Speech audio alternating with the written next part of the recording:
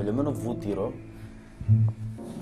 είναι ένα θεατρικό έργο που έγραψε ο Σάκης ο Σερέφας με αφορμή ένα πρωτοσέλιδο από την εφημερίδα Μακεδονία. Το 1950 περίπου, μια κοπέλα από την επαρχία της Μακεδονίας κατεβαίνει στη Θεσσαλονίκη για να γίνει τραγουδίστρια, να κυνηγήσει το όνειρό της. Την προλαβαίνει ο πρώην αραβωνιαστικός της, ο οποίος ε, είχε μάλλον αντίθετη άποψη. Ήθελε να γυρίσει πίσω στο χωριό την προλαβαίνει λοιπόν στη Θεσσαλονίκη, την πείθει έτσι χάρη όλων αυτών που περάσανε μαζί να περάσουν μια τελευταία νύχτα στο, σε ένα ξενοδοχείο. Εκεί πάει κάτι στραβά και τη δολοφονεί. Την άλλη μέρα αυτός πάει και παραδίδεται. Ίσως αυτός να είναι και ο λόγος που, που με τράβηξε εμένα στο έργο αρχικά. Δηλαδή αυτή η μαύρη περιοχή, αυτή η μαύρη τρύπα μέσα στην οποία πέφτει αυτός ο χαρακτήρας, τι μπορεί δηλαδή να συνέβη στο μυαλό του ας πούμε και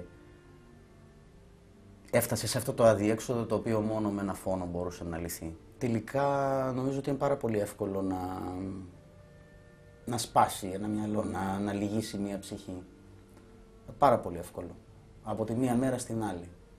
Από τη μία στιγμή στην άλλη ίσως. Οπότε αυτός είναι και ο λόγος που με κάνει να θέλω να επιστρέφω ξανά σε αυτό το έργο.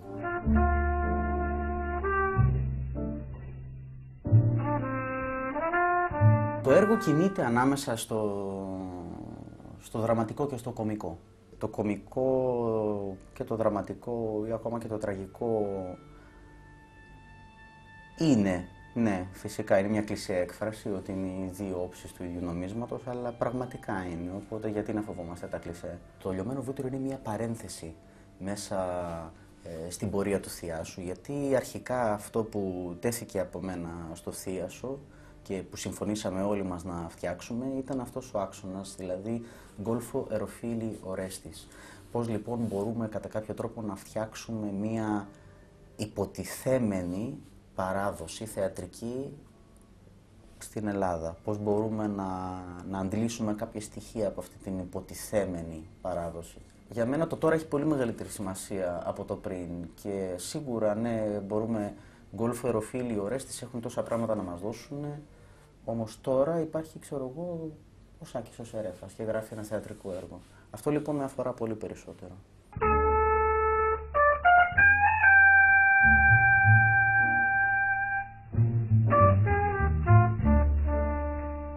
Εμένα με οδηγεί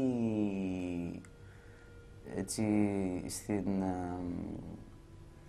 στην αναζήτηση της ταυτότητας το γεγονός ότι πιστεύω ότι δεν έχουμε ταυτότητα σαν λαός και ότι είναι επιτακτική ανάγκη να, να καταλάβουμε, να, να ανακαλύψουμε την ταυτότητά μας, όχι να δανειζόμαστε ταυτότητες έτσι που μας βολεύουν κατά καιρούς, να, να καταλάβουμε πραγματικά ποιοι είμαστε. Ο αυτοσχεδιασμός για μένα είναι κάτι, είναι, είναι σαν να ανοίγεις μία, μία πόρτα στο τυχαίο. Αφήνεις το τυχαίο να εισβάλλει πάνω στη σκηνή και πρέπει εσύ να το χειριστείς.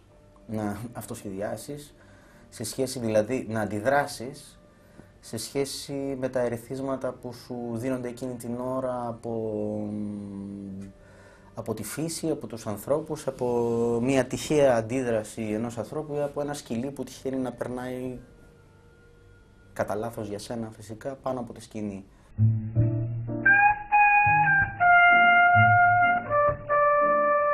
Οι άνθρωποι έχουν ανάγκη τα βραβεία, όχι η τέχνη.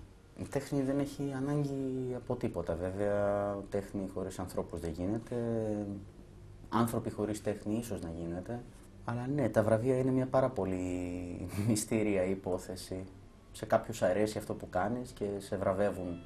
Σε κάποιους δεν αρέσει αυτό που κάνεις και θα ήθελαν να μην βραβευτείς. Εσύ βραβεύεσαι και την ψωνίζεις την άλλη μέρα και αισθάνεσαι ότι κάτι έκανες. Έρχεται όμως η μεθεπόμενη ημέρα που σου λέει ότι δεν έκανες τίποτα απολύτως και ότι είναι πάρα πολύ εύκολο να, να ξεχαστείς. Οπότε αρχίζεις και ανακαλύπτεις ότι τελικά όλο αυτό το παιχνίδι της ματαιοδοξίας μέσα στο οποίο ε, άθελα ή θελημένα όλοι μας έχουμε μπει και ειδικά έτσι μέσα σε αυτή την πόλη εδώ την, την ωραία και έντονη που ζούμε κάπου ίσως όλα αυτά δεν έχουν κανένα απολύτως νόημα για μένα.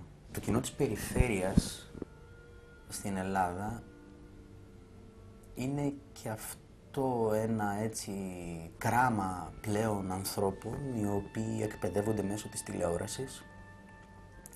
Έτσι, η τηλεόραση έκανε αυτό που δεν κατάφερε να κάνουν όλες αυτές οι κυβερνήσεις αυτά τα 150 χρόνια. Η τηλεόραση κατάφερε να το κάνει τα τελευταία 20 χρόνια. Δηλαδή να ομογενοποιήσει τον ελληνικό πολιτισμό. Ο πολιτισμός τη είχε τέτοια όμορφα τοπικά χαρακτηριστικά, αναλόγως με το από ποια πλευρά ήταν και από πού επηρεάζονταν.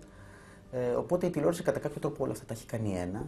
Υπάρχουν πάρα πολλές πόλεις, όπως η Λάρισα παραδείγματος χάρη, που έχει πραγματικά θεατρικό κοινό. Δηλαδή εκεί βλέπεις ότι ο Τσιάνος και όλοι αυτοί οι άνθρωποι εκεί εδώ και 30 χρόνια, πριν μάλλον 30 χρόνια, κυριολεκτικά χτίσανε κάτι που είναι εντυπωσιακό. Αυτό ήταν από τα πιο συγκινητικά πράγματα που μου έχει συμβεί. Δηλαδή, όταν παίξαμε μπροστά στο κοινό της Λάρισας, που παίζοντας αντιλαμβάνεσαι ότι έχεις να κάνεις με ένα θεατρικό κοινό. Ήτανε καιρός για πολιτικό θέατρο κάποτε. Ε, εγώ βασικά πιστεύω ότι δεν υπάρχει καμία ελπίδα.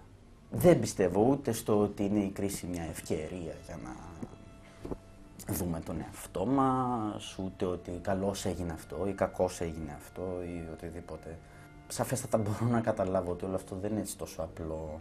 Ε, είναι ένα πάρα πολύ σύνθετο πράγμα που χτίζεται εδώ και χρόνια και θα συνεχίζει να χτίζεται.